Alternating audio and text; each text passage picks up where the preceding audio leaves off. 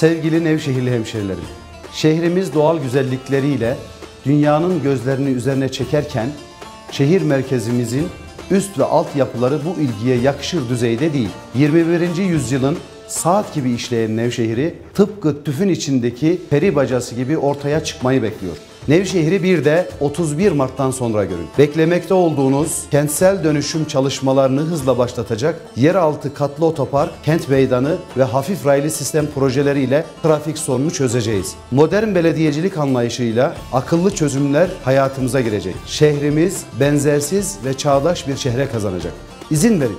Şehrimizi hayallerdeki yerleşim ve yaşam merkezine dönüştürelim. Bizim Nevşehir için hayalimiz bu.